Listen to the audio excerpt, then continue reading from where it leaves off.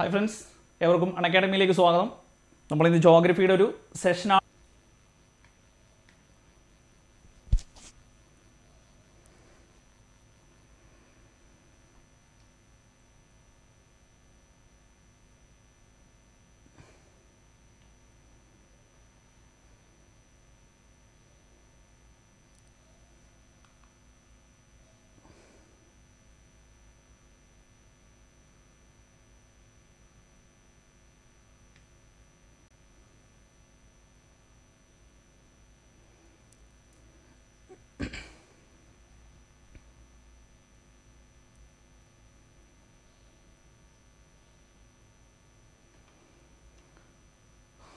Okay ഇപ്പോൾ കേൾക്കാൻ പറ്റുന്നുണ്ടെന്ന് വിചാരിക്കുന്നു. ഓക്കെ ആണല്ലോ?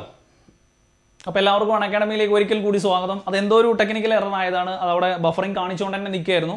പിന്നെ ഇപ്പോൾ ഒന്ന് കൊടുത്തപ്പോൾ ഒന്നുകൂടെ എന്ത് ചെയ്തു? റിഫ്രഷ് ആയിട്ട് വരികയും ചെയ്തു. ഓക്കെ അപ്പോൾ സൗണ്ട് ക്ലിയർ ആണെന്ന് വിചാരിക്കുന്നു. ഇപ്പോൾ വീഡിയോ ക്ലിയർ ആണെന്ന് വിചാരിക്കുന്നു. കിട്ടുന്നുണ്ടല്ലോ എല്ലാവർക്കും. ഓക്കെ അപ്പോൾ നമ്മൾ ജോഗ്രഫിയിലെ ഇന്ന് ഡിസ്കസ് ചെയ്യാമെന്ന് പറഞ്ഞത് ഒന്നാമത്തെ ചാപ്റ്റർ നിങ്ങൾക്കറിയാം പത്താം ക്ലാസ്സിലെ ജോഗ്രഫി വായിക്കുമ്പോൾ നിങ്ങൾക്ക് അത്രത്തോളം ഒരു പ്രയാസം തോന്നിയിട്ടുണ്ടാവില്ല. നിങ്ങൾക്ക് ഏറ്റവും കൂടുതൽ പ്രയാസം തോന്നിയത് ഏതിലായിരിക്കും? ഒമ്പതാം ക്ലാസ്സിലെ ജോഗ്രഫി വായിച്ചപ്പോഴാവും ഏറ്റവും കൂടുതൽ ഒരു പ്രയാസം തോന്നിയിട്ടുണ്ടാവുക. കാരണം എന്താണെന്ന് വെച്ച് കഴിഞ്ഞാൽ എട്ടാം ക്ലാസ്സിലെയും പത്താം ക്ലാസ്സിലെയും ജോഗ്രഫി എന്ന് പറയുന്നത് എല്ലാവർക്കും വായിച്ചാലും ഏകദേശം കാര്യങ്ങൾ പിടികിട്ടുന്നവർക്കൊക്കെ മനസ്സിലാവുന്ന തരത്തിലാണ് അവിടെ സെറ്റ് ചെയ്തിരിക്കുന്നത്. പക്ഷേ ഒമ്പതാം ക്ലാസ്സിലെ ജോഗ്രഫി എന്ന് പറയുന്നത് ഇതിന് രണ്ടിന്റെയും ഇടയിൽ ജോഗ്രഫിയിലെ ബുദ്ധിമുട്ടുള്ള ടോപ്പിക്കുകളൊക്കെ എവിടെ ഒതുക്കാൻ പറ്റുമോ അതെല്ലാം ഒതുക്കിയിട്ടുള്ള ഒരു സ്ഥലമാണ് ഇത് ഒമ്പതാം ക്ലാസ്സിലെ ടെക്സ്റ്റ് ബുക്ക് എന്ന് പറയുന്നത്. അപ്പോൾ അവിടെ നിങ്ങൾക്ക് വായിക്കുമ്പോൾ തന്നെ നിങ്ങൾക്ക് അറിയാൻ പറ്റും ഈ കുറേ നമുക്ക് അറിയാത്ത കുറേ ടേംസുകൾ അതേപോലെ തന്നെ ഈ തുഷാരം ഹിമം എന്നൊക്കെ കേൾക്കുമ്പോൾ നമുക്ക് ഉൾക്കൊള്ളാൻ പറ്റാത്ത കുറേ വേർഡുകളൊക്കെ നിങ്ങൾ അവിടെ കണ്ടിട്ടുണ്ടാവും. അപ്പോൾ ഒന്നാമത്തെ ചാപ്റ്ററിൽ നമുക്ക് ഏറ്റവും ആവശ്യമായിട്ടുള്ള ഇമ്പോർട്ടന്റ് ആയിട്ടുള്ള കാര്യങ്ങളാണ് നമ്മൾ എന്ത് ചെയ്യുന്നത്. ഇപ്പോൾ നോക്കുന്നത് അതിൽ അന്തരീക്ഷത്തിൽ നടക്കുന്ന പ്രവർത്തനങ്ങളാണ് എന്ത് ചെയ്തിട്ടുള്ളത്. ആദ്യം സൂചിപ്പിച്ചിട്ടുള്ളത്. അപ്പോൾ ആ അന്തരീക്ഷത്തിൽ നടക്കുന്ന പ്രവർത്തനങ്ങൾ ഏതൊക്കെയാണ് എന്നുള്ളത് നമുക്ക് എന്ത് ചെയ്യാം? ജസ്റ്റ് ഒന്ന് നോക്കാം. അപ്പോൾ അവിടെ നിങ്ങൾ ആദ്യം മനസ്സിലാക്കേണ്ട ഒരു കാര്യം എന്ന് പറയുന്നത് അന്തരീക്ഷത്തെ നമ്മൾ എന്ത് ചെയ്തിട്ടുണ്ട്? ഈ അന്തരീക്ഷം എന്ന് പറയുമ്പോൾ നമ്മുടെ മൈൻഡിൽ ആകെയുള്ളത് ഒന്ന് സൂര്യനാണ് ഒന്ന് ഭൂമിയാണ്. ആ ഒരു ലെവലിൽ എന്ത് ചെയ്യുക? ആ ഒരു ഐഡിയ ഉണ്ടാക്കുക. ഉണ്ടാക്കി കഴിഞ്ഞാൽ സൂര്യൻ എന്ത് ചെയ്യുന്നു? സദാസമയവും ഊർജത്തെ പുറന്തള്ളിക്കൊണ്ടിരിക്കുന്നുണ്ട്. ആ പ്രവർത്തനത്തിന് പറയുന്ന പേരാണെന്ത്? സൗരവികിരണം എന്നുള്ളത് ഓർത്തിരിക്കുക. അതായത് ഇത് പറയുന്നതിന് മുന്നേ നമുക്ക് എന്ത് ചെയ്യാനുണ്ട്? ഒന്ന് രണ്ട് കാര്യങ്ങൾ ആദ്യം നോക്കാനുണ്ട്. അപ്പോൾ ആ നോക്കുന്നതിലാണ് എന്ത് ഇപ്പോൾ ഇത് സൂര്യനാണെങ്കിൽ ഇപ്പോ ഇവിടെ ജസ്റ്റ് നമുക്ക് ഓർത്തിരിക്കേണ്ടത് ഇവിടെ സൂര്യനാണെങ്കിൽ സദാസമയവും എന്ത് ചെയ്യുന്നുണ്ട്? സൂര്യൻ ഇങ്ങനെ ഊർജത്തെ പുറന്തള്ളിക്കൊണ്ടിരിക്കുന്നുണ്ട്. അതിന് പേരുന്ന രണ്ട് പേരുകളാണ്. ഒന്ന് സൗരവികിരണം മറ്റൊന്ന് സൂര്യാതപനം. സൂര്യാതപനം എന്നാലും സൗരവികിരണം എന്നാലും ഏതാണ്? സൂര്യൻ സദാസമയവും ഊർജത്തെ പുറത്തേക്ക് തള്ളിക്കൊണ്ടിരിക്കുന്നു. അതിനെയാണ് നമ്മൾ റേഡിയേഷൻ എന്നൊക്കെ നമ്മൾ കോമൺ ആയിട്ട് പറയും. അപ്പോൾ സൗരവികിരണം എന്ന് പറയും സൂര്യാതപനം എന്നും പറയും. അപ്പോൾ ആ രണ്ട് കാര്യങ്ങൾ എന്ത് ചെയ്യുക? ജസ്റ്റ് അവിടെ ഓർത്തിരിക്കുക. ഇനി ഇവിടെ ഓർത്തിരിക്കേണ്ട ഒരു കാര്യം എന്താണെന്ന് വെച്ചാൽ ഈ സൂര്യൻ എപ്പോഴും ഊർജത്തെ ഡയറക്റ്റ് ആയിട്ട് അതായത് ഭൂമിയിലേക്കാണെങ്കിൽ എവിടേക്കാണെങ്കിലും ഇങ്ങോട്ടേക്ക് ഡയറക്റ്റ് ആയിട്ടാണ് എന്ത് ചെയ്യുന്നത്? വരുന്നത്. അതായത് സൂര്യൻ എന്ത് ചെയ്യാൻ നിൽക്കുന്നില്ല? ഇവിടെ രശ്മി അയക്കുമ്പോൾ ഈ പ്രകാശരശ്മികൾ വരുമ്പോൾ ഏത് തരംഗങ്ങളായിട്ടാണ് ഹ്രസ്വ തരംഗങ്ങളായിട്ടാണ് പുറത്തേക്ക് വിടുന്നത്. ഷോർട്ട് ടേം വേവ്സ് എന്ന് പറയും. ഹ്രസ്വ തരംഗങ്ങളായിട്ടാണ് സൂര്യൻ ഊർജത്തെ പുറന്തള്ളുന്നത് അത് പരീക്ഷയ്ക്ക് ചോദിച്ച ഒരു ചോദ്യമാണ്. സൂര്യൻ ഊർജത്തെ പുറന്തള്ളുന്നത് ഏത് തരംഗങ്ങളായിട്ടാണ്? അപ്പോൾ അവിടെ ഏത് ഓർത്തിരിക്കണം? ഹ്രസ്വ തരംഗങ്ങളായിട്ടാണ് എന്നുള്ളത് ജസ്റ്റ് അവിടെ ഓർത്തിരിക്കുക. അപ്പോൾ ഒറ്റ കാര്യം ഓർത്താൽ മതി. സൂര്യനിൽ നിന്ന് ഊർജം വരുമ്പോൾ എന്ത് ചെയ്യുന്നില്ല? എവിടെ വായി നോക്കാനും നിൽക്കുന്നില്ല. നേരെ എവിടേക്ക് വരുന്നു? ഭൂമിയിലേക്ക് വരുന്നു. ഇനി ഭൂമിയാണെങ്കിലോ? ഭൂമി ഇതിനെയൊക്കെ പിടിച്ചെടുത്ത് സാവകാശം. ഇപ്പം ഇത് ഭൂമിയാണെങ്കിൽ ഭൂമി ഇതിനെയൊക്കെ പിടിച്ചെടുത്ത് സാവകാശം മുന്നിലുള്ളവരെയും എല്ലാവരെയും ഇങ്ങനെ ഇങ്ങനെ ചൂട് പിടിപ്പിച്ച് ചൂട് പിടിപ്പിച്ച് പതുക്കെ പുറത്തേക്ക് പോകുന്നുള്ളൂ. അപ്പം ഈ ഭൂമി പുറന്തള്ളുന്നതിന് പറയുന്ന പേരാണെന്ത്? ഭൗമവികിരണം. അപ്പോൾ ഇവിടെ സൂര്യൻ പുറത്തു വിടുന്നതിനെ നമ്മൾ സൗരവികിരണം എന്ന് വിളിച്ചെങ്കിൽ ഇവിടെ സൂര്യൻ പുറ ഭൂമി പുറത്തു വിടുന്നതിനെ നമ്മൾ എന്ത് വിളിക്കുന്നു? ഭൗമവികിരണം എന്ന് വിളിക്കുന്നു. അപ്പം ഭൗമവികിരണം ഏത് തരംഗങ്ങളായിട്ടാ? ഭൗമവികിരണം ദീർഘതരംഗങ്ങളായിട്ടാണ് ലോങ് ടേം വേവ്സ് എന്നുള്ളത് ചെയ്യുക? അവിടെ ഓർത്തിരിക്കുക. അപ്പോൾ ഈ രണ്ട് കാര്യങ്ങളെ പറഞ്ഞുള്ളൂ. സൂര്യനാണെങ്കിൽ ഹ്രസ്വ തരംഗങ്ങളായിട്ടാണ് ഇവിടെയോ ദീർഘദൂര തരംഗങ്ങളായിട്ടാണ് എന്നുള്ളതും കൂടെ എന്ത് ചെയ്യുക? ജസ്റ്റ് അവിടെ ഓർത്തിരിക്കുക. അപ്പോൾ ഈ രണ്ട് പ്രോസസ്സ് ഈ രണ്ട് പ്രോസസ്സ് കൂടാതെ അന്തരീക്ഷത്തെ ചൂട് പിടിപ്പിക്കുന്ന നാല് മാർഗങ്ങളാണ്. ഒന്ന് ചാലനം. ഒന്ന് ചാലനം ഒന്ന് സംവഹനം ഒന്ന് അഭിവഹനം. പിന്നെ ആൾറെഡി നമ്മൾ പറഞ്ഞതാണ് ഇത് ഭൗമ വികിരണം എന്നുള്ളത്. അപ്പം ഈ ചാലനം എന്ന് പറഞ്ഞാൽ എന്താണ്? ചാലനം എന്ന് പറഞ്ഞാൽ നമുക്ക് ഏറ്റവും ബേസിക് ആയിട്ട് നമുക്കറിയുന്ന ഒരു കാര്യം. നമ്മൾ ഈ ഡ്രസ്സൊക്കെ അയൺ ചെയ്യാൻ പോയിട്ട് നമ്മൾ ആ സ്വിച്ചൊക്കെ ഇട്ടിട്ട് എന്ത് ചെയ്യും? കുറച്ച് കഴിഞ്ഞിട്ട് ചൂടായോ എന്നറിയാൻ വേണ്ടിയിട്ട് എന്ത് ചെയ്യും? നേരിട്ട് അയൺ ബോക്സിൽ നമ്മൾ തൊടില്ല. പക്ഷേ ഇങ്ങനെ അടുത്ത് കൈവയ്ക്കുമ്പോൾ തന്നെ നമുക്ക് അറിയാൻ പറ്റും അത് ചൂടായിട്ടുണ്ടോ ഇല്ലയോ എന്നുള്ളത്. അപ്പോൾ അത് ചൂടായിട്ടുണ്ടെങ്കിൽ സ്വാഭാവികമായും അടുത്ത് കൈ എത്തുമ്പോൾ നമ്മളെ കയ്യിലേക്ക് എന്ത് വരും? ചൂട് വരും എന്നുള്ള ഉറപ്പല്ലേ? അതേ സംഭവം തന്നെയാണ് എന്ത്? ചാലനം എന്ന് പറയുന്നത്. അതായത് ഭൂമി ചൂട് പിടിച്ചു കഴിഞ്ഞാൽ ആ ചൂട് കൊണ്ട് തൊട്ട് മുകളിലുള്ള വായു എന്ത് ചെയ്യും? ചൂട് പിടിക്കുന്നു. ഈ തൊട്ട് മുകളിലുള്ള വായു ചൂട് പിടിക്കുന്ന ഈ പ്രോസസ്സിനെ പറയുന്നതാണ് ഏത്? ചാലനം എന്നുള്ളത്. അതായത് ഭൂമിയുടെ ഉപരിതലത്തോട് ചേർന്ന് കിടക്കുന്ന വായു ചൂട് പിടിക്കുന്ന പ്രക്രിയയെ പറയുന്ന പേരാണെന്ത്? ചാലനം എന്നുള്ളത്. അപ്പോൾ അന്തരീക്ഷത്തെ ചൂട് പിടിക്കുന്ന മാർഗങ്ങളിൽ ചൂട് പിടിപ്പിക്കുന്ന മാർഗങ്ങളിൽ ഒന്നാമത്തേതാണ് ഏത്? ചാലനം എന്നുള്ളത് ഓർത്തിരിക്കുക. രണ്ടാമത്തേത് സംവഹനം. രണ്ടാമത്തേതാണ് ഏത്? സംവഹരണം. സംവഹനം ഓർത്തിരിക്കുക. അതായത് ഈ ചൂട് പിടിച്ച വായു എന്ത് ചെയ്യുന്നു? ചൂട് പിടിച്ചു കഴിഞ്ഞാൽ വായു ആണെങ്കിലും നമുക്കറിയാൻ പറ്റും. നമ്മൾ ഊതി വീർപ്പിച്ച ഒരു ബലൂണ് മുറ്റത്തേക്ക് ഇട്ട് കഴിഞ്ഞാൽ കുറച്ച് കഴിഞ്ഞാൽ അത് പൊങ്ങാൻ തുടങ്ങും. ആരും പൊക്കി വിടുന്നൊന്നുമല്ല. ആ വായു അതിനകത്ത് ചൂട് പിടിച്ചു കഴിഞ്ഞാൽ ഓട്ടോമാറ്റിക്കലി അതെന്ത് ചെയ്യും? പൊങ്ങാൻ തുടങ്ങും. എന്ന പോലെ ചൂട് പിടിച്ച വായു മുകളിലേക്ക് പൊങ്ങാൻ തുടങ്ങും. മോളിൽ എത്തിക്കഴിഞ്ഞാൽ ഇവിടെയുള്ള വായുവിനെ തട്ടി സൈഡിലേക്ക് തെറിപ്പിക്കും. ആ സൈഡിലേക്ക് തെറിപ്പിച്ച് കഴിഞ്ഞ് ഇത് ഇങ്ങോട്ടേക്ക് പോകുന്നു. അവിടെ എന്ത് ചെയ്യുന്നു? അത് തണുത്ത് ഭാരം കൂടി താഴേക്ക് തന്നെ വരുന്നു. ഇവിടെ വീണ്ടും ചൂട് പിടിക്കുന്നു മേലോട്ട് തന്നെ പോകുന്നു തണുപ്പ് സ്വീകരിക്കുന്നു വീണ്ടും താഴേക്ക്. ഇങ്ങനെ ഈ ചാക്രിക രീതിയിലുള്ള ചൂട് പിടിക്കലിനെ പറയുന്ന പേരാണെന്ത്? സംവഹന പ്രക്രിയ എന്ന് ഉദ്ദേശിക്കുന്നത്. ഇത് നമുക്ക് ഒരുപാടടുത്ത് ആവ ആവർത്തിക്കുന്നതാണ്. അതായത് ഭൂമിയുടെ ഉള്ളിലാണെങ്കിലും മാൻഡലിന്റെ പാർട്ടൊക്കെ പറയുമ്പോൾ അസ്തനോസ്ഫിയർ എന്നൊക്കെ പറയുമ്പോൾ നമുക്ക് ഈ സംവഹന പ്രവാഹം എന്നൊക്കെ പറഞ്ഞിട്ട് സംവഹന പ്രക്രിയ അവിടെ നമുക്ക് ആവശ്യം വരുന്നതാണ്. അപ്പോൾ ഇവിടെ ചൂട് പിടിച്ച വായു ഉണ്ട്. ആ ചൂട് പിടിച്ച വായു മുകളിലേക്ക് പൊങ്ങി വീണ്ടും തണുത്ത് താഴേക്ക് വരുന്നു. അപ്പോൾ ഈ ചാക്രിക രീതിയിലുള്ള ഈ പ്രക്രിയയെ പറയുന്ന പേരാണെന്ത്? സംവഹന പ്രക്രിയ. അപ്പോൾ ചാലനം സംവഹനം രണ്ടെണ്ണമായി അന്തരീക്ഷം ചൂട് പിടിക്കുന്ന മാർഗങ്ങൾ. ഇനി മൂന്നാമത്തതാണ് ഇത് അഭിവഹനം. അഭിവഹനം എന്ന് പറഞ്ഞു കഴിഞ്ഞാൽ എന്ത് മാത്രമേ ഉള്ളൂ? അതായത് ഇപ്പോൾ ഈ പ്രദേശത്ത് ചൂട് പിടിച്ച വായുണ്ട് അവിടെ ചൂട് പിടിച്ച സ്ഥലമാണ്. അപ്പോൾ ഇവിടെ നിന്ന് ഇങ്ങോട്ടേക്ക് കാറ്റ് വീശുമ്പോൾ ഇവിടെ ഒരു തണുപ്പുള്ള സ്ഥലമാണെങ്കിൽ ഈ ചൂട് പിടിച്ച വായു ഇങ്ങോട്ടേക്ക് എത്തുമ്പോൾ എന്ത് ചെയ്യുന്നു? ഈ തണുത്ത പ്രദേശത്തെ അത് ചൂട് പിടിപ്പിക്കുന്നു. തിരിച്ചു ആവാം. ഇവിടെ ആൾറെഡി ചൂട് പിടിച്ച സ്ഥലമാണ്. ഇവിടെ തണുപ്പുള്ള സ്ഥലമാണ്. അപ്പോൾ ഈ ഭാഗത്ത് നിന്ന് അങ്ങോട്ടേക്ക് കാറ്റ് വീശിക്കഴിഞ്ഞാൽ ഇവിടുത്തെ തണുപ്പ് ഇങ്ങോട്ടേക്ക് കിട്ടും. അപ്പം ഇങ്ങനെ വായുവിന്റെ തിരശ്ചീന തലത്തിലുള്ള അതായത് ഹൊറിസോണ്ടൽ ആയിട്ട് അങ്ങോട്ടും ഇങ്ങോട്ടും താപം സഞ്ചരിക്കുകയാണെങ്കിൽ അങ്ങനെ ചൂട് പിടിപ്പിക്കുകയാണെങ്കിൽ അതിനെ പറയുന്ന പേരാണത് അഭിവഹനം. അപ്പം ഈ മൂന്നെണ്ണമാണ് നമുക്ക് മെയിനായിട്ട് ഓർത്തിരിക്കാനുള്ളത്. ഒരെണ്ണം നമ്മൾ നേരത്തെ തന്നെ പറഞ്ഞു ഭൗമവികിരണം. അപ്പോൾ സൂര്യൻ ആരെ ചൂട് പിടിപ്പിക്കുന്നില്ല? അന്തരീക്ഷത്തെ ചൂട് പിടിപ്പിക്കുന്നില്ല. പക്ഷെ ആര് ചൂട് പിടിപ്പിക്കുന്നുണ്ട്? ഭൂമി ചൂട് പിടിപ്പിക്കുന്നുണ്ട്. പി എസ് സി ചോദിച്ചൊരു ചോദ്യമാണ് താഴെ കൊടുത്തിരിക്കുന്നവയിൽ അന്തരീക്ഷത്തെ ചൂട് പിടിപ്പിക്കുന്ന മാർഗം ഏതാണ് എന്ന് ചോദിച്ചിട്ടുണ്ട്. അന്ന് ഈ മൂന്നെണ്ണവും കൊടുത്തിട്ടില്ല പക്ഷേ ഏത് ഓപ്ഷനിലുണ്ടായിരുന്നു ഭൗമവികിരണം ഓപ്ഷനിൽ ഉണ്ടായിരുന്നു. പക്ഷേ എ ഓപ്ഷൻ അവിടെ ഏതായിരുന്നു? സൗരവികിരണം എന്നായിരുന്നു അവിടെ കൊടുത്തിട്ടുണ്ടായിരുന്നത്. അപ്പോൾ സൂര്യൻ ആരെ ചൂട് പിടിപ്പിക്കുന്നില്ല?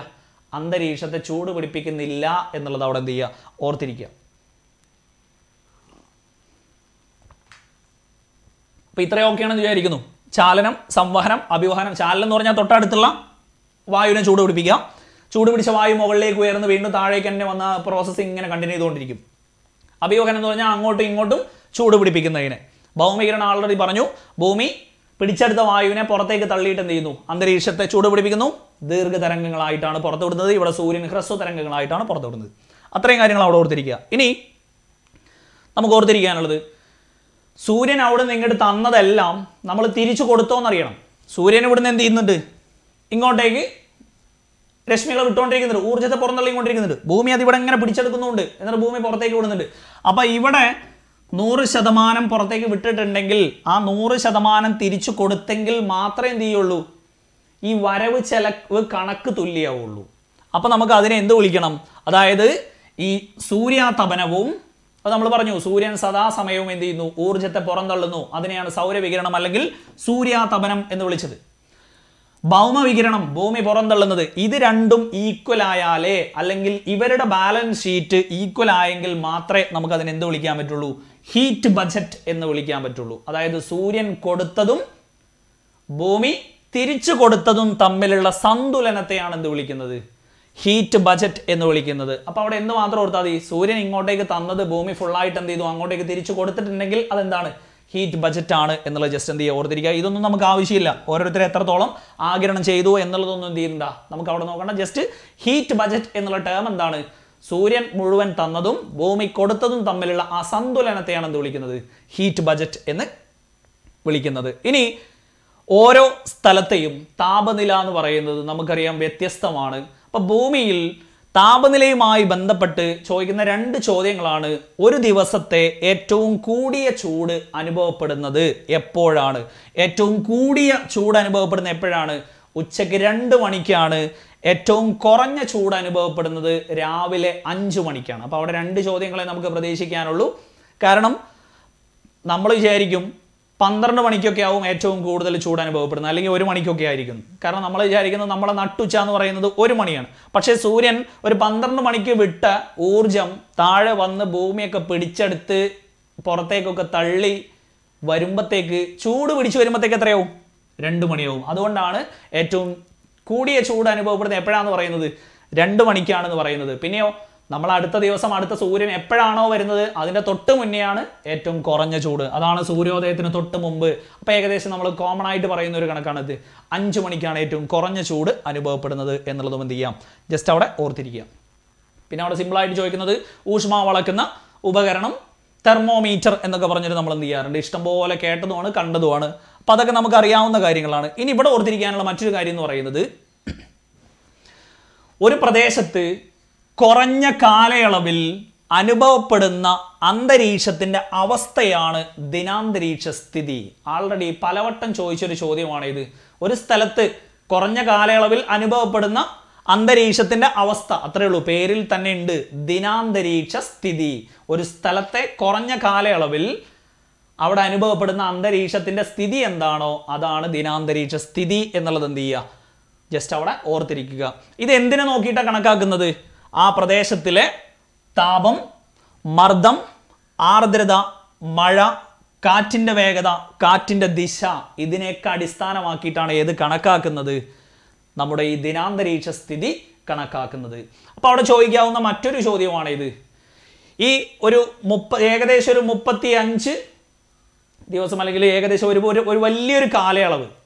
ഒരു മുപ്പത്തിയഞ്ച് വർഷം എന്നൊക്കെ ഒരു കാലയളവൊക്കെ എന്ത് ചെയ്യാറുണ്ട്? എടുക്കാറുണ്ട്. അത് പല തോതിലാണ് എന്ത് ചെയ്യാറുള്ളത്? എടുക്കാറുള്ളത് അപ്പോൾ പ്രദേശത്തെ നീണ്ട കാലയളവിലെ ദിനാന്തരീക്ഷ സ്ഥിതിയുടെ ശരാശരി അപ്പോൾ ലാസ്റ്റ് ഒരു മുപ്പത്തി അഞ്ച് വർഷത്തെ ഈ കണക്കെടുക്കും ദിനാന്തരീക്ഷ സ്ഥിതി എടുക്കും. എന്നിട്ട് അതിന്റെ ശരാശരി കാണും. അതാണ് ഏത്? ആ പ്രദേശത്തിന്റെ കാലാവസ്ഥ എന്നറിയപ്പെടുന്നത്. അപ്പോൾ ദിനാന്തരീക്ഷ സ്ഥിതി എന്ന് പറഞ്ഞാൽ കുറഞ്ഞ കാലയളവിൽ ഒരു പ്രദേശത്തിന്റെ അന്തരീക്ഷത്തിന്റെ സ്ഥിതി എന്താണോ അവസ്ഥ എന്താണോ അതാണ് ദിനാന്തരീക്ഷ സ്ഥിതി. എന്നാൽ ഒരുപാട് കാലത്തെ ഈ ദിനാന്തരീക്ഷ സ്ഥിതിയുടെ ശരാശരി കണ്ടാൽ അതാണെന്ത്? ആ പ്രദേശത്തിന്റെ കാലാവസ്ഥ. അപ്പോൾ ഇവിടെ രണ്ടേ രണ്ട് ടേംസ് ദിനാന്തരീക്ഷ സ്ഥിതി കാലാവസ്ഥ. ആ രണ്ടെണ്ണം പഴയ ടെക്സ്റ്റുകളിലുണ്ട് പക്ഷേ നമുക്ക് പത്താം ക്ലാസ്സിലെ അല്ലെങ്കിൽ ഒമ്പതാം ക്ലാസ്സിലെ പുതിയ ടെക്സ്റ്റിൽ എന്ത് ചെയ്തിട്ടില്ല? അത് പറഞ്ഞിട്ടില്ല. ഈ ക്വസ്റ്റ്യൻ ആണ് ഇവിടെ ചോദിച്ചതും. ഇപ്പോൾ വി ഒന്റെ പരീക്ഷയ്ക്ക് ഫസ്റ്റ് എക്സാമിൽ ചോദിച്ചത് ദിനാന്തരീക്ഷ സ്ഥിതിയായിരുന്നു. അവിടെ നമുക്ക് മറ്റൊന്ന് ഓർത്തിരിക്കാനുള്ളത്. ഒരു ദിവസത്തെ കൂടിയ താപനിലയും കുറഞ്ഞ താപനിലയും തമ്മിലുള്ള വ്യത്യാസമാണെന്ത്? ദൈനിക താപാന്തരം എന്നുള്ളത് ഓർത്തിരിക്കുക. ദൈനിക താപാന്തരം. അന്തരം എന്ന് പറഞ്ഞാൽ അതിൽ തന്നെ ഉണ്ട് എന്ത്? കൂടിയ താപനിലയും കുറഞ്ഞ താപനിലയും തമ്മിലുള്ള വ്യത്യാസമാണെന്ത്? ദൈനിക താപാന്തരം. അപ്പോൾ അവിടെ അത് മാത്രം എന്ത് ചെയ്യാനുള്ളൂ? നമുക്ക് അവിടെ ഓർത്തിരിക്കാനുള്ളൂ. ഇപ്പോൾ ഇവിടെ നമ്മൾ കാണാറില്ലേ? കൂടിയ താപനില നമ്മൾ ന്യൂസൊക്കെ വായിക്കുമ്പോൾ നമ്മൾ ആദ്യമൊക്കെ കണ്ടിട്ടുണ്ടായിരുന്നു കാലാവസ്ഥ. കൊച്ചി കൂടിയ താപനില മുപ്പത്തിരണ്ട് കുറഞ്ഞ താപനില ഇരുപത്തിയാറ് എന്നൊക്കെ പറയും. അപ്പോൾ കൂടിയ താപനിലയും കുറഞ്ഞ താപനിലയും തമ്മിലുള്ള അന്തരമാണെന്ത്? ദൈനിക താപാന്തരം.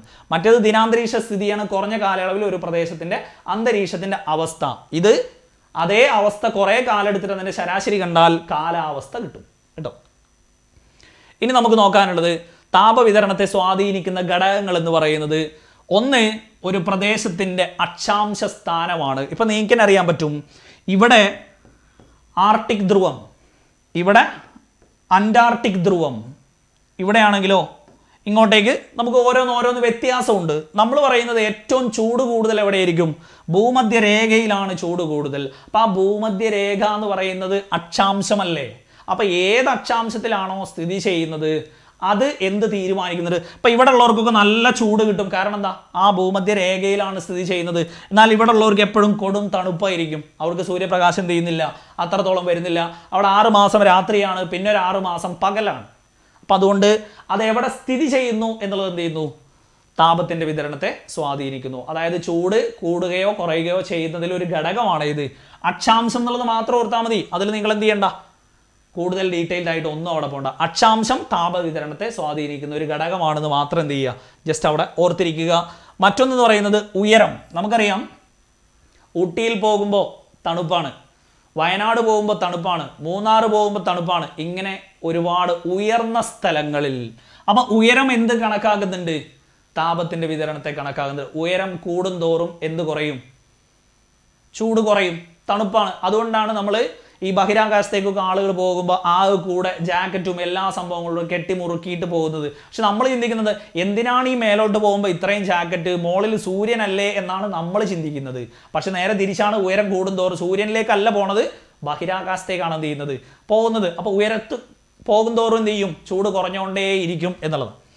അപ്പോൾ അതിൽ ഏത് ചോദ്യം വന്നിട്ടുണ്ട്? ഈ കഴിഞ്ഞ കേട്ടറ്റിനും കൂടെ ചോദിച്ച ചോദ്യമാണ് ഉയരത്തിനനുസരിച്ച് ഓരോ നൂറ്ററുപത്തഞ്ച് മീറ്ററിനും ഒരു ഡിഗ്രി സെൽഷ്യസ് എന്ന തോതിൽ എന്ത് കുറഞ്ഞു വരുന്നു?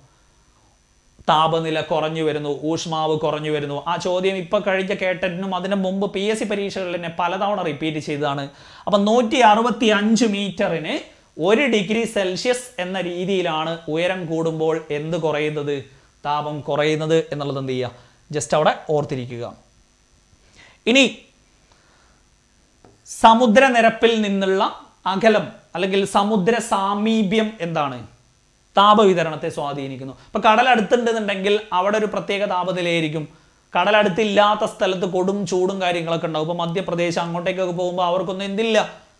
സമുദ്ര സാമീപ്യം എന്ന് പറയുന്ന ഒരു സംഭവം ഇല്ല. അപ്പൊ സമുദ്ര സാമീപ്യം കൂടെ എന്ത് തീരുമാനിക്കുന്നുണ്ട്? നമ്മുടെ താപത്തെ സ്വാധീനിക്കുന്നുണ്ട് എന്നുള്ളതും കൂടെ എന്ത് ചെയ്യുക? ജസ്റ്റ് അവിടെ ഓർത്തിരിക്കുക. കടലിൽ നിന്ന് ഇങ്ങോട്ടേക്ക് കാറ്റടിക്കും. ഇപ്പം നമ്മൾ പകൽ സമയത്താണെങ്കിൽ കടൽ കാറ്റ് ഇങ്ങോട്ടേക്ക് എന്ത് ചെയ്യാറുണ്ട്? വരാറുണ്ട്. അപ്പോൾ അത് നമ്മുടെ ചൂട് കുറയാനും കൂടാനും ഒക്കെ അങ്ങോട്ടും ഇങ്ങോട്ടും ഒക്കെ സ്വാധീനിക്കുന്നുണ്ട്. മധ്യപ്രദേശിൽ അതൊന്നും ഉണ്ടാവില്ല. അല്ലെങ്കിൽ ഡൽഹി ഭാഗത്തേക്ക് അങ്ങനത്തെ സംഭവമേ ഇല്ല. അപ്പോൾ അക്ഷാംശം ഉയരം സമുദ്ര സാമീപ്യം മറ്റൊന്ന് കാറ്റുകൾ. കാറ്റുകൾ നമുക്ക് തന്നെ അറിയാൻ പറ്റും? ഇപ്പം ചില ഭാഗത്ത് മഴ പെയ്തു കഴിഞ്ഞാൽ നമ്മുടെ നാട്ടിൽ മഴ പെയ്തിട്ടില്ലെങ്കിൽ അവിടുന്ന് ഇങ്ങോട്ട് നല്ല തണുത്ത കാറ്റടിക്കുന്ന കാണാൻ പറ്റും. അപ്പോൾ കാറ്റും എന്ത് ചെയ്യുന്നുണ്ട്? താപവിതരണത്തെ സ്വാധീനിക്കുന്നുണ്ട്. അപ്പം നാല് കാര്യങ്ങൾ. അക്ഷാംശം ഉയരം സമുദ്ര സാമീപ്യം കാറ്റുകൾ. ഈ നാലെണ്ണമാണ് എന്ത് തീരുമാനിക്കുന്നത്? താപവിതരണത്തെ സ്വാധീനിക്കുന്ന ഘടകങ്ങൾ എന്നുള്ളത് എന്ത് ചെയ്യുക? ആകെ ഓർത്തിരിക്കുക. ഇപ്പൊ രണ്ടേ രണ്ട് കാര്യങ്ങൾ ഇപ്പൊ പറഞ്ഞോളൂ നമ്മൾ അന്തരീക്ഷത്തെ ചൂട് പിടിക്കുന്ന ചൂട് പിടിപ്പിക്കുന്ന ചാലനം സംവഹനം അഭിവഹനം ഭൗമവികിരണം ആ നാലെണ്ണം മാത്രം അവിടെ ഓർത്തിരിക്കുക. ഇവിടെ താപവിതരണത്തെ സ്വാധീനിക്കുന്നത് അക്ഷാംശം ഉയരം സമുദ്ര സാമീപ്യം കാറ്റുകൾ ഈ നാല് ഘടകങ്ങൾ അവിടെ ഓർത്തിരിക്കുക. ഇനി അന്തരീക്ഷത്തിൽ എന്തിന്റെ കണ്ടന്റ് ഉണ്ട്? ജലത്തിന്റെ കണ്ടന്റ് ഉണ്ട് വാട്ടറിന്റെ കണ്ടന്റ് ഉണ്ട്. അതിനെയാണ് എന്ത് വിളിക്കുന്നത്? ആർദ്രത ഹ്യൂമിഡിറ്റി നമുക്ക് എപ്പോഴും ചോദിക്കുന്ന ചോദ്യമാണെന്ത്? അന്തരീക്ഷത്തിൽ വായുവിലെ ഈർപ്പത്തിന് പറയുന്ന പേര് എന്ന് ആർദ്രത എന്ന് പറഞ്ഞിട്ട് എപ്പോഴും ചോദിക്കാറുണ്ട്. ആർദ്രത അളക്കുന്ന ഉപകരണം എന്നെന്ത് ചെയ്യാറുണ്ട്? എടുത്തു ചോദിക്കാറുണ്ട്. ഹൈഗ്രോമീറ്റർ. ഹൈഗ്രോമീറ്റർ ആണ് ആർദ്രത അളക്കുന്ന ഉപകരണം എന്നുള്ളത് കൂടെ എന്ത് ചെയ്യുക? ജസ്റ്റ് അവിടെ ഓർത്തിരിക്കുക. ഇനി അവിടെ ഓർത്തിരിക്കേണ്ട രണ്ട് ടേംസ് ആണ്. ഒന്ന് കേവല ആർദ്രത അതായത് ആബ്സല്യൂട്ട് ഹ്യൂമിഡിറ്റി എന്ന് പറയുന്നത്. ഇതിപ്പോ ജസ്റ്റ് നമ്മൾ ഒരു അളവ് പാത്രമാണെന്ന് വിചാരിക്കുക. അതിൽ ഇത്രയും ഭാഗത്ത് എന്തുണ്ട്? വെള്ളമുണ്ട് എന്ന് നമ്മൾ പറയുമല്ലോ. എന്ന പോലെ അന്തരീക്ഷത്തിൽ എത്രത്തോളം ആർദ്രത ഉണ്ടോ അതിന്റെ ആ റിയാലിറ്റിയാണ് എന്ത്? കേവല ആർദ്രത എന്ന് പറയുന്നത്. അതായത് ഇത്രയും ഉൾക്കൊള്ളാനുള്ള കപ്പാസിറ്റി ഉണ്ട്. പക്ഷെ എത്രയേ ഉള്ളൂ? ഇത്ര ഭാഗത്തേ ഉള്ളൂ. അപ്പൊ അതാണ് ആ റിയാലിറ്റി എന്താണ്? കേവല ആർദ്രത എന്നുള്ളത് ഓർത്തിരിക്കുക. ഇനിയോ? അപ്പൊ കേവല ആർദ്രത എന്ന് പറഞ്ഞാൽ മെയിനായിട്ട് ഒന്നുമില്ല. അതായത് വായുവിൽ അടങ്ങിയിട്ടുള്ള ആ നീരാവിയുടെ ആ ഹ്യൂമിഡിറ്റിയുടെ കണ്ടന്റ് ആണ് എന്ത് കേവല ആർദ്രത എന്ന് പറയുന്നത്. അവിടെ ഒരു ടേമും കൂടെ പറയുമ്പോൾ ഇതെന്താ അവരുത് കൺഫ്യൂഷൻ ആവരുത്. അവിടെ ഓർത്തിരിക്കാനുള്ള സംഭവമാണ് ഇത് ആപേക്ഷിക ആർദ്രത. ആപേക്ഷിക ആർദ്രത എന്ന് പറയുമ്പോൾ നമ്മൾ നേരത്തെ പറഞ്ഞ അതേ സംഭവം തന്നെ ഇത്രയാണ് ആകെ ഉള്ളത്. അല്ലേ? പക്ഷേ എത്ര കൊള്ളുമായിരുന്നു ഇതിലാകെ കൊള്ളാവുന്നത് ഇത്രയല്ലേ? അപ്പം ഇതിനെ നമ്മൾ എന്ത് ചെയ്യുക? ശതമാനത്തിലാക്കി കഴിഞ്ഞാൽ അതിന് ഏത് പേരായി? ആപേക്ഷിക ആർദ്രത. അതാണ് ഇവിടെ പറയുന്നത്. നിശ്ചിത ഊഷ്മാവിൽ അന്തരീക്ഷത്തിന് ഉൾക്കൊള്ളാൻ കഴിയുന്ന ആകെ നീരാവിയുടെ എത്ര ഭാഗമാണ് നിലവിലുള്ളത് എന്നത് ശതമാനത്തിൽ കണക്കാക്കിയാൽ അതെന്തായി? ആപേക്ഷിക ആർദ്രത. അപ്പൊ കേവല ആർദ്രതയും ആർദ്രത ആപേക്ഷിക ആർദ്രതയും തമ്മിൽ എന്ത് ചെയ്യരുത്? മാറരുത്. സംഭവമൊന്നുമില്ല. മറ്റേത് റിയാലിറ്റി. അതിൽ എത്രത്തോളം ഉണ്ട് എന്നുള്ളത് കേവല ആർദ്രത. ഇവിടെയോ ആകെ കൊള്ളാവുന്നതിന്റെ എത്ര ശതമാനമാണ് എന്ന് കണ്ടു കഴിഞ്ഞാൽ അതെന്തായി? അത് റിലേറ്റീവ് ഹ്യൂമിഡിറ്റി ആപേക്ഷിക ആർദ്രത. ഇതിലെടുത്ത് ചോദിച്ച ഒരു ചോദ്യമാണ് ഇത് wet white wet and dry bulb thermometer ഈ കഴിഞ്ഞ കേട്ടറിന്റെ പരീക്ഷയ്ക്ക് ചോദിച്ച ചോദ്യമാണ് ആപേക്ഷിക ആർദ്രത അളക്കുന്ന ഉപകരണം ഏതാണ്? ആപേക്ഷിക ആർദ്രത അളക്കുന്ന ഉപകരണമാണ് ഇത് wet and dry bulb thermometer എന്നുള്ളത് എന്ത് ചെയ്യുക? ജസ്റ്റ് അവിടെ ഓർത്തിരിക്കുക നിങ്ങൾ ക്വസ്റ്റ്യൻ കണ്ടിട്ടുണ്ടാവും ആ ക്വസ്റ്റ്യൻ എന്ത് ചെയ്തിട്ടുണ്ടായിരുന്നു? ഡയറക്റ്റ് ടെക്സ്റ്റിൽ നിന്നുള്ള ചോദ്യമാണ് എന്നുള്ളത് എന്ത് ചെയ്യുക? ജസ്റ്റ് അവിടെ ഓർത്തിരിക്കുക. ഇനി ഇവിടെയുള്ള മറ്റൊരു ടേമാണ് ഇത് പൂരിതാവസ്ഥ എന്ന് പറയുന്നത്. പൂരിതാവസ്ഥ എന്നൊക്കെ കേൾക്കുമ്പോൾ അതേപോലെ തന്നെ ഇവിടെ തുഷാരാംഗം എന്നൊക്കെ കേൾക്കുമ്പോൾ അല്ലെങ്കിൽ വായിക്കുമ്പോൾ നമുക്ക് പ്രാന്താവും. സംഭവം പറഞ്ഞു കഴിഞ്ഞാൽ ഒന്നാമത് എന്താ വെച്ചാൽ ഈ തുഷാരാംഗം എന്താണെന്നറിയില്ല പൂരിതാവസ്ഥ എന്താണെന്ന് അറിയില്ല പിന്നെ വെറുതെ ഒരു ടേം പഠിച്ചുകൊണ്ട് നമുക്കൊന്നും കിട്ടൂല. നിങ്ങൾ ഈ ഐസ് ഫാക്ടറിയിൽ പോയി കഴിഞ്ഞാൽ അവിടെ ഈ ഐസ് ഉണ്ടാക്കുന്ന ഫാക്ടറി ഉണ്ടല്ലോ. അപ്പോൾ അതിലിങ്ങനെ ആ ഒരു ട്രേ ഇങ്ങനെ വരുന്നതാണ്. ആ ട്രേയിലേക്ക് ഫസ്റ്റ് എന്ത് ചെയ്യുന്നു? വെള്ളം നിറയ്ക്കുന്നു. അപ്പോൾ ആ ട്രേ ഇവിടുന്ന് ഇങ്ങനെ പോകുന്നു കഴിഞ്ഞാൽ ഇവിടെ ട്രേ എത്തുമ്പോൾ ഇവിടെ വെള്ളം നിറയ്ക്കുന്നു. ഇതാണ് എന്ത്? നീരാവി പൂരിതമാവുന്ന അവസ്ഥ പൂരിതാവസ്ഥ. അതായത് വെള്ളം നിറയ്ക്കുക. കുറച്ചും കൂടെ ഇങ്ങോട്ടേക്ക് എത്തുമ്പോൾ എന്ത് ചെയ്യുന്നു? അവിടെ എന്ത് ചെയ്യാൻ തുടങ്ങുന്നു?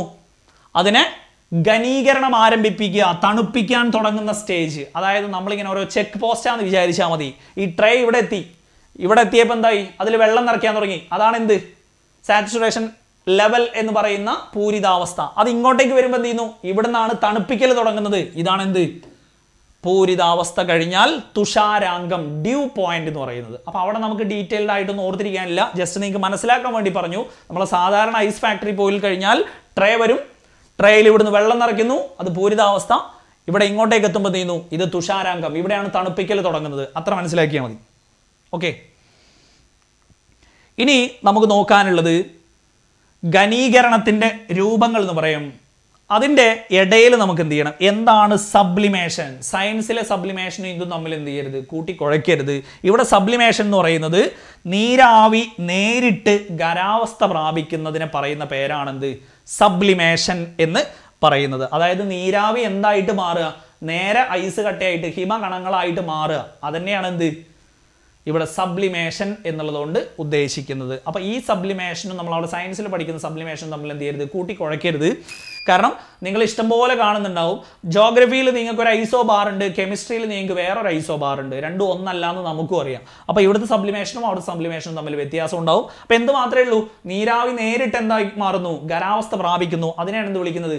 സബ്ലിമേഷൻ ഇനി ഘനീകരണത്തിന്റെ രൂപങ്ങൾ ഏതൊക്കെയാണ് എന്നുള്ളതാണ്. അതായത് അന്തരീക്ഷം നമ്മൾ നേരത്തെ പറഞ്ഞു ആദ്യം ട്രേയിൽ പിന്നെ എന്ത് ചെയ്യുന്നു? വെള്ളം ചേർക്കുന്നു പിന്നെ തണുപ്പിക്കാൻ തുടങ്ങുന്നു എന്ന് പറഞ്ഞല്ലോ. അപ്പോൾ ആ പൂരിതാവസ്ഥയിൽ എത്തിയതിന് ശേഷവും നീരാവി അന്തരീക്ഷത്തിൽ എത്തുകയോ അല്ലെങ്കിൽ താപനിലയിൽ വ്യത്യാസം ഉണ്ടാവുകയോ ചെയ്തു കഴിഞ്ഞാൽ ഈ തണുപ്പിക്കുന്നതിൽ തന്നെ പല രീതിയിലായിരിക്കും. ഇപ്പം നമുക്ക് തന്നെ അറിയാൻ പറ്റും. നമ്മൾ ഫ്രീസറിൽ ഐസ് വെച്ച് കഴിഞ്ഞാൽ നല്ല കട്ടയായിട്ട് ഏറ്റവും സ്ട്രോങ് ആയിട്ടായിരിക്കും വരുന്നത്. പക്ഷെ താഴത്തേൽ വെച്ച് കഴിഞ്ഞാൽ കാണാം വെള്ളത്തിൽ പാറി കിടക്കുന്ന ഐസിന്റെ കട്ടി കുറഞ്ഞ പാളികൾ നമുക്കിങ്ങനെ കാണാൻ പറ്റും. അപ്പോൾ ഓരോന്നിലും എന്താണ് വ്യത്യാസമുണ്ട്? എന്ന പോലെ ഘനീകരണത്തിന് കുറേ രൂപങ്ങളുണ്ട് തണുക്കുന്നതിന് കുറേ രൂപങ്ങളുണ്ട്. അതാണ് നമുക്ക് നോക്കാനുള്ളത്. തുഷാരം ഒരു രൂപമാണ് ഇത് തുഷാരം. അതായത് നമ്മൾ ചെറുപ്പത്തിലൊക്കെ നമ്മൾ കണ്ടിട്ടുണ്ട് ഈ പുല്ലിന്റെ അറ്റത്ത് കാണാം. ഇങ്ങനെ വെള്ളത്തുള്ളികൾ ഇങ്ങനെ വെള്ള കളറിൽ ഇങ്ങനെ കാണാം. എന്നിട്ട് നമ്മൾ കുട്ടികളെയൊക്കെ പറഞ്ഞ് പേടിപ്പിച്ചിട്ടുണ്ട് അതിലൊന്നും തൊടാൻ പോകരുത് അത് പാമ്പ് തുപ്പിയതാണ് എന്നൊക്കെ പറഞ്ഞിട്ട് നമ്മൾ എന്ത് ചെയ്തിട്ടുണ്ട്? അന്ന് പലതും അടിച്ചിറക്കിയിട്ടുണ്ട്. പിന്നെ ഭാവിയിൽ നമ്മൾ എന്ത് ചെയ്തിട്ടില്ല പുല്ലിന്റെ അഗ്രത്തിലൊന്നും നമ്മൾ വെള്ളം കാണാനൊന്നും നമ്മൾ പോയിട്ടില്ല എന്നുള്ളതാണ്. അപ്പോൾ ഒന്ന് ഇവിടെ ഏതോർത്തിരിക്കാം തുഷാരം ആ പുല്ലിന്റെ അഗ്രത്തിലുള്ളതാണ് ഏത്? തുഷാരം എന്നുള്ളത് ഓർത്തിരിക്കുക. അതിന്റെ ഡീറ്റെയിൽഡൊന്നും നമ്മളോട് എന്ത് ചെയ്യൂല നമ്മളോട് ചോദിക്കൂല. നമുക്ക് എന്തേ ചോദിക്കുള്ളൂ? ഘനീകരണത്തിന്റെ വിവിധ മാർഗങ്ങൾ അല്ലെങ്കിൽ രൂപങ്ങൾ ഏവ എന്നുള്ളതാണ് ചോദിക്കുക. അല്ലെങ്കിൽ അതിൽ പെടാത്തത് എന്നുള്ളതാണ് ചോദിക്കുക. അപ്പൊ തുഷാരം ഹിമം അതായത് ചെറിയ മഞ്ഞ് കട്ടകളായിട്ട് എന്ത് ചെയ്യുക? വെള്ളം ആവുന്നതിന് മുന്നേ എന്ത് ചെയ്യും? മഞ്ഞ് കട്ടകളായിട്ട് ചെറിയ കട്ടകളായിട്ട് ഇതിൽ തന്നെ നിൽക്കുക. അതാണ് ഇത് ഹിമം എന്ന് പറയുന്നത്. പിന്നെയോ ഘനീകരണം ആരംഭിച്ചിട്ടുള്ള മറ്റൊരു രൂപമാണ് ഇത് മേഘങ്ങൾ. വായുവിനും വായുവും പൊടിപടലങ്ങളും ഒക്കെ ചേർന്ന് ഘനീകരണം സംഭവിച്ചിട്ടാണ് മേഘങ്ങൾ രൂപം കൊള്ളുന്നത് എന്നൊക്കെ നമ്മൾ എന്ത് ചെയ്യുന്നുണ്ട്? നേരത്തെ ആൾറെഡി പഠിച്ച കാര്യങ്ങൾ. അപ്പൊ ഘനീകരണത്തിന്റെ രൂപങ്ങളാണ് തുഷാരം ഹിമം മേഘങ്ങൾ മൂടൽ മഞ്ഞ്. മൂടൽ മഞ്ഞ് എന്ന് പറയുന്നത് അന്തരീക്ഷത്തിലെ ഈർപ്പ് എന്ത് ചെയ്യുക? താഴേക്ക് വരാതെ അവിടെ തന്നെ നിൽക്കുക.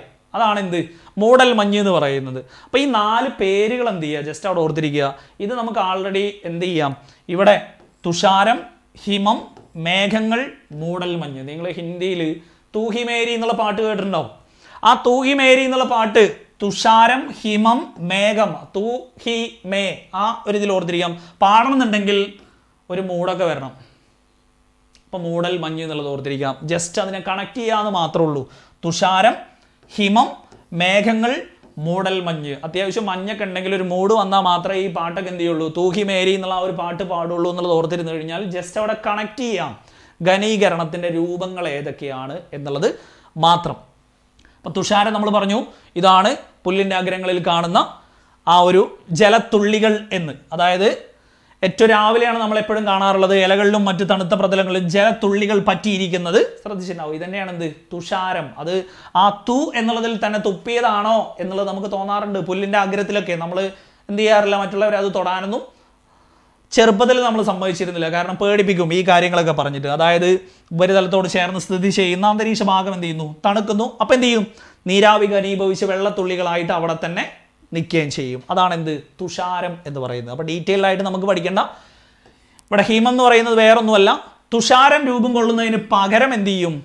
നേർത്ത ഹിമകണങ്ങളാകും രൂപം കൊള്ളുക. അതായത് അവിടുത്തെ താപനില എന്ത് ചെയ്യും? പൂജ്യം ഡിഗ്രി സെൽഷ്യസിനും താഴെയാവുമ്പോൾ എന്ത് ചെയ്യുന്നു? അത് ഐസ് കട്ടകളായിട്ട് ഹിമകണങ്ങളായിട്ട് മാറുന്നു. അതാണ് ഏത്? ഹിമം എന്ന് പറഞ്ഞത്. പിന്നെയോ മൂടൽ മഞ്ഞ് നമ്മൾ നേരത്തെ തന്നെ പറഞ്ഞു. എന്തുമാത്രമാണ് അതായത് അന്തരീക്ഷം തണുക്കുമ്പോൾ ഘനീഭവിച്ചുണ്ടാകുന്ന നേരത്തെ ജലകണികകളിൽ അന്തരീക്ഷത്തിൽ തന്നെ അവിടെ തന്നെ തങ്ങി നിൽക്കും. താഴോട്ട് വരില്ല. അതിനുള്ളൊരു വെയിറ്റ് ഉണ്ടാവില്ല. മോളിൽ തന്നെ തങ്ങി നിൽക്കും വായുവിൽ തന്നെ തങ്ങി നിൽക്കും. അതാണ് എന്ത്? മൂടൽ മഞ്ഞ് എന്ന് പറയുന്നത്.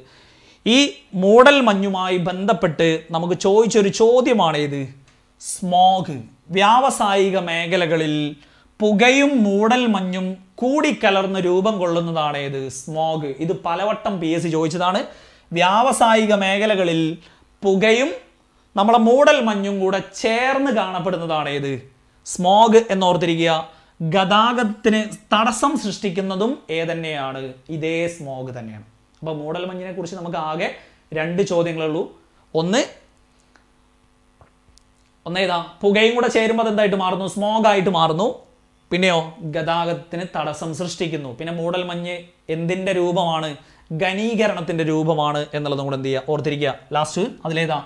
മേഘങ്ങൾ. അപ്പൊ തുഷാരമായി ഹിമം മേഘങ്ങൾ മൂടൽ മഞ്ഞ്. ഈ നാലെണ്ണം ഘനീകരണത്തിന്റെ തണുക്കുന്നതിന്റെ രൂപീകരണം എന്ന് ഓർത്തിരുന്നാൽ മതി. തണുക്കുന്നതിന്റെ രൂപം എന്ന് മാത്രം. ഇനി മേഘങ്ങൾ നമുക്കറിയാം. അന്തരീക്ഷത്തിലെ പൊടിപടലങ്ങളാണ് എന്ത് ചെയ്യുന്നത്? നീരാവി ഘനീഭവിച്ചിട്ടാണ് എന്ത് ചെയ്യുന്നത്? മേഘങ്ങൾ രൂപം കൊള്ളുന്നത്. അത് നോർമലി നമുക്ക് അറിയുന്ന കാര്യങ്ങളാണ്. അവിടെ അതിന്റെ രൂപത്തിന്റെ അടിസ്ഥാനത്തിൽ മേഘങ്ങൾ എന്ത് ചെയ്തിരിക്കുന്നു? സിറസ് മേഘങ്ങൾ സ്ട്രാറ്റസ് മേഘങ്ങൾ ക്യൂമുലസ് മേഘങ്ങൾ നിംബസ് മേഘങ്ങൾ എന്നിങ്ങനെ തിരിച്ചിരിക്കുന്നു. ഇതാണ് ഇത് സിറസ് മേഘങ്ങൾ. നിങ്ങൾക്കറിയാൻ പറ്റും. അന്തരീക്ഷത്തിൽ ഏറ്റവും ഉയർന്ന ഭാഗങ്ങളിലാണ് ഏത് കാണപ്പെടുന്നത്? സിറസ് മേഘങ്ങൾ കാണപ്പെടുന്നത്. ഇവിടെ തന്നെ നിങ്ങൾക്ക് അറിയാൻ പറ്റും. ഇവിടെ കൈച്ചൂൽ ആകൃതിയിൽ അല്ലെങ്കിൽ തൂവൽ കെട്ടുകൾ പോലെ കാണപ്പെടുന്നത് എന്നുള്ളതൊക്കെ പറഞ്ഞിട്ട് എന്ത് ചെയ്യാറുണ്ട്? എടുത്തു ചോദിക്കാറുണ്ട്. തൂവൽ കെട്ടുകൾ പോലെ കാണപ്പെടുന്നത് കൈച്ചൂൽ ആകൃതിയിൽ കാണപ്പെടുന്നത് കുതിരവാലിന്റെ ആകൃതിയിൽ കാണപ്പെടുന്നത്. ഈ മൂന്നെണ്ണം ചോദിക്കാറുണ്ട്. കുതിരവാലിന്റെ ആകൃതിയിൽ കാണപ്പെടുന്നത് കൈച്ചൂൽ ആകൃതിയിൽ കാണപ്പെടുന്നത് തൂവൽ കെട്ടുകൾ പോലെ കാണപ്പെടുന്നത്. അപ്പോൾ വെളുത്ത തൂവൽ കെട്ടുകൾ പോലെ എന്നൊക്കെ ഏത് പറയാറുണ്ട്? സിറസ് മേഘങ്ങൾ. ഏറ്റവും ഉയരത്തിൽ കാണപ്പെടുന്നതും ഏത് തന്നെയാണ്? ഈ സിറസ് മേഘങ്ങളാണ്. അടുത്ത നമുക്ക് ഓർത്തിരിക്കാനുള്ളതാണ് ഏത്? സ്ട്രാറ്റസ് മേഘങ്ങൾ പാളികളായിട്ട് കാണപ്പെടുന്നതാണ് ഏത്? സ്ട്രാറ്റസ് മേഘങ്ങൾ പാളികളായിട്ട് കാണപ്പെടുന്നു. മോശം കാലാവസ്ഥയ്ക്ക് കാരണവും ഏതന്നെയാണ് ഈ സ്ട്രാറ്റസ് മേഘങ്ങൾ തന്നെയാണ്. ചാറ്റൽ മഴ ഉള്ളപ്പോഴൊക്കെ ഏത് കാണപ്പെടും? ഈ സ്റ്റാറ്റസ് മേഘങ്ങൾ കാണപ്പെടും. അതുപോലെ തന്നെ കൊടുങ്കാറ്റൊക്കെ വരുന്നതിന് മുന്നേക്ക് ഏത് രൂപപ്പെടാറുണ്ട്? ഈ സ്ട്രാറ്റസ് മേഘങ്ങൾ രൂപപ്പെടാറുണ്ട്. ഇനി ക്യുമുലസ് മേഘങ്ങൾ കൂനകളായിട്ട് കാണപ്പെടുന്നു. വെളുത്ത പഞ്ഞിക്കെട്ടുകൾ പോലെ കാണപ്പെടുന്നു. കോളിഫ്ലവറിന്റെ അഗ്രം പോലെ കാണപ്പെടുന്നു. ചെമ്മരിയാടിന്റെ രോമക്കെട്ടുകൾ പോലെ കാണപ്പെടുന്നു. ഈ നാല് രീതിയിൽ ചോദിക്കാറുണ്ട്. പറഞ്ഞത് കൂനകളായിട്ട് കാണപ്പെടുന്നു. ഇപ്പം ചോദിച്ചതും അതന്നെയായിരുന്നു. കൂന എന്നുള്ളൊരു ടേം ഉപയോഗിച്ച് കഴിഞ്ഞാൽ പിന്നെ അതവിടെ ഏതേ വരുള്ളൂ? അവിടെ ചോദിച്ച ഇതാണ് ചാരനിറത്തിലുള്ള കൂനകളായിട്ട് കാണപ്പെടുന്നത്. അപ്പോൾ അവിടെ കൂന എന്ന് പറഞ്ഞു കഴിഞ്ഞാൽ പിന്നെ അത് ഏതേ വരുള്ളൂ? ക്യൂമുലസ് എന്നുള്ളതേ വരുള്ളൂ. അപ്പോൾ എന്തൊക്കെ പറഞ്ഞു? ചാരനിറത്തിലുള്ള കൂനകളായിട്ട് കാണപ്പെടുന്നു. പിന്നെയോ വെളുത്ത പഞ്ഞിക്കെട്ടുകൾ പോലെ കാണപ്പെടുന്നു. കോളിഫ്ലവറിന്റെ അഗ്രം പോലെ കാണപ്പെടുന്നു. ചെമ്മരിയാടിന്റെ രോമക്കെട്ടുകൾ പോലെ കാണപ്പെടുന്നു. ഇനി ഇത്രയും വെളുത്ത നിറത്തിലുള്ള മേഘങ്ങൾ അങ്ങോട്ട് നിറഞ്ഞു കഴിഞ്ഞാൽ അതന്നെയാണ് എന്ത് പ്രസന്നമായ കാലാവസ്ഥയ്ക്ക് കാരണവും ഏത് തന്നെയാണ്? ക്യൂമുലസ് മേഘങ്ങൾ തന്നെയാണ്. ടെക്സ്റ്റിൽ അവിടെ സിറസ് തെളിഞ്ഞ ആകാശം എന്നൊക്കെ കൊടുത്തിട്ടുണ്ടാവും. പക്ഷെ മുമ്പ് പി എസ് സി ചോദിച്ചതാണ് ഏത്? പ്രസന്നമായ കാലാവസ്ഥയ്ക്ക് കാരണം. കാരണം ഈ ക്യൂമുലസ് മേഘങ്ങൾ രൂപം കൊള്ളുന്നത് എങ്ങനെയാ? നല്ല വെയിലുള്ള സമയത്ത് നല്ല ചൂടുള്ള സമയത്ത് ഭൂമിയിലെ ചൂട് പിടിച്ച വായു മുകളിലേക്ക് പൊങ്ങാൻ തുടങ്ങും. പൊങ്ങിക്കഴിഞ്ഞ് സൈഡിലേക്ക് തട്ടിത്തെറിപ്പിച്ച് ക്യുമുലസ് മേഘങ്ങളായിട്ട് ഇവിടെ മാറുന്നു. അങ്ങനെ ഏറ്റവും വെയിലുള്ള സമയത്താണ് ഈ മേഘങ്ങൾ രൂപം കൊള്ളുന്നത്. അപ്പോൾ അവിടെ ഒരു ചോദ്യമാണ് ഇത്. സംവഹന പ്രക്രിയ മൂലം രൂപം കൊള്ളുന്ന മേഘങ്ങൾ ഏതാണ്? അപ്പൊ സംവഹന പ്രക്രിയ മൂലം രൂപം കൊള്ളുന്നവ കൂനകളായിട്ട് കാണപ്പെടുന്നവ. ചെമ്മരിയാടിന്റെ രോമക്കെട്ടുകൾ പോലെ വെളുത്ത പഞ്ഞിക്കെട്ടുകൾ പോലെ കോളിഫ്ലവറിന്റെ അഗ്രം പോലെ കാണപ്പെടുന്നത്. ഇതെല്ലാം ഏതാണ്? പ്രസന്നമായ കാലാവസ്ഥയ്ക്ക് കാരണം. ഇത്രയും ക്യുമുലസ് മേഘങ്ങളാണ് എന്നുള്ളത് ഓർത്തിരിക്കുക. Last one nimbus P S പരീക്ഷകളിൽ ഏറ്റവും കൂടുതൽ റിപ്പീറ്റ് അടിച്ച് ചോദിച്ചിട്ടുള്ളത് ഇരുണ്ട ചാരനിറത്തിൽ കാണുന്ന മഴമേഘങ്ങൾ നിംബസ് മേഘങ്ങൾ മഴമേഘങ്ങൾ എന്ന് വിളിക്കുന്നത് എന്നൊക്കെ ആരെക്കുറിച്ച് ചോദിക്കാറുണ്ട്? അപ്പൊ രണ്ട് ചോദ്യങ്ങൾ. ഇരുണ്ട ചാര നിറത്തിൽ കാണപ്പെടുന്നു. മഴമേഘങ്ങൾ എന്ന് അറിയപ്പെടുന്നത്. ഈ രണ്ട് ചോദ്യങ്ങളാണ് ഇതിനെക്കുറിച്ച് ചോദിക്കാറുള്ളത്. നിംബസിനെ കുറിച്ച്. ഇനി വേറിട്ടൊരു ചോദ്യം ചോദിക്കുന്നതാണ് ഇത് ഇടിമിന്നലോട് കൂടിയ മഴയ്ക്ക് കാരണം ക്യുമുലസും നിംബസും ചേർന്നതാണ്. അതാണ് ഏത്? ക്യുമുലോ നിംബസ് എന്നുള്ളത് ഓർത്തിരിക്കുക. ഇടിമിന്നലോട് കൂടിയ ശക്തമായ മഴയ്ക്ക് കാരണം എന്ന് ചോദിച്ചാൽ ക്യുമുലോ നിംബസ് ആണ് എന്നുള്ളതും ഓർത്തിരിക്കുക.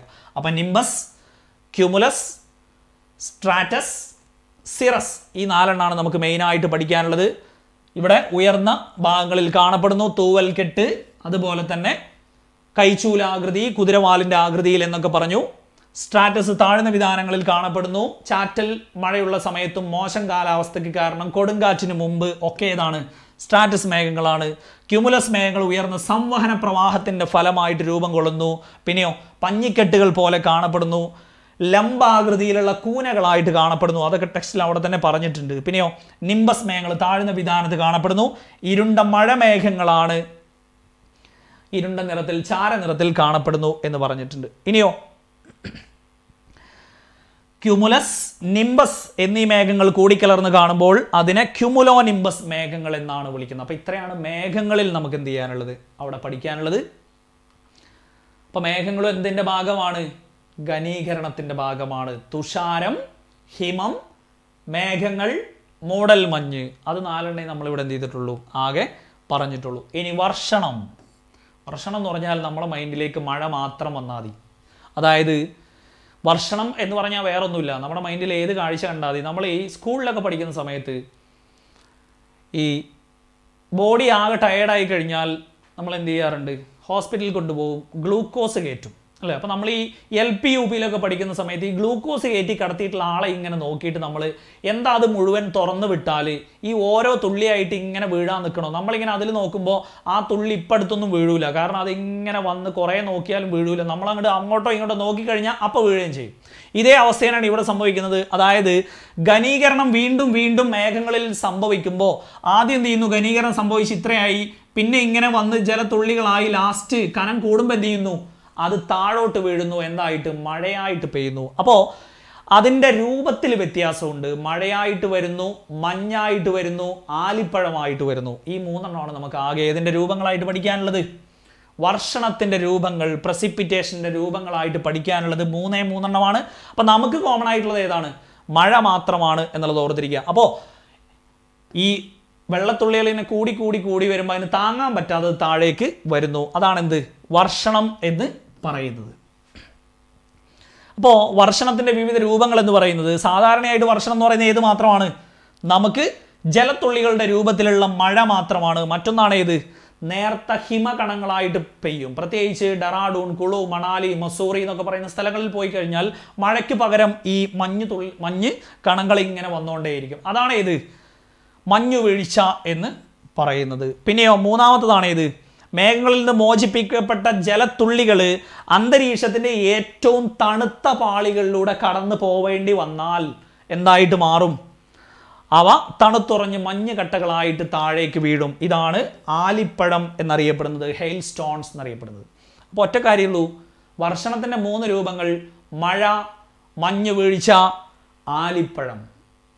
അപ്പോൾ ഇത് കൂടി ചേർത്ത് എന്ത് ചെയ്താൽ മതി? മഴ മഞ്ഞു വീഴ്ച. മാമ എന്ന് പഠിച്ചാൽ മതി. മാമ ആലിപ്പഴം വർഷിക്കുന്നു എന്ന് ഓർത്താൽ മതി. അപ്പോൾ മൂന്നുമായി. വർഷണത്തിന്റെ മൂന്ന് രൂപങ്ങൾ.